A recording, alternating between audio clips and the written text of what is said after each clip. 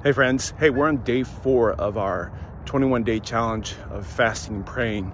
And four days into this thing, it's already very difficult. There's some easy things that they're, they're simple, not easy, right? There's simple things like drink more water, don't eat junk food. Simple, not easy.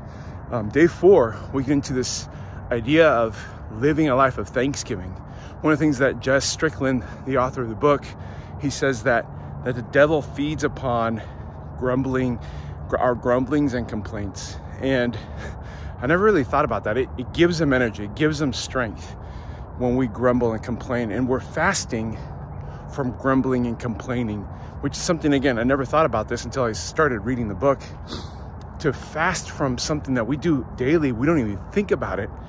Sometimes, I don't know about you, but me, I grumble and complain on a daily basis. Sometimes I have a critical spirit.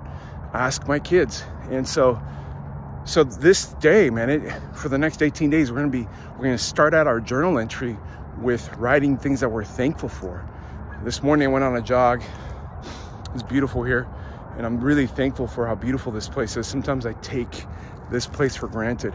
What are some things that you're thankful for? Write them down, put them in the comments, put them in on Facebook or YouTube, whatever you're listening on or watching on. What are you thankful for? Let us know that you're you're following along, you're tracking it, tracking along, and let us know what God is doing in your life. Love you guys. Hope today's great for you.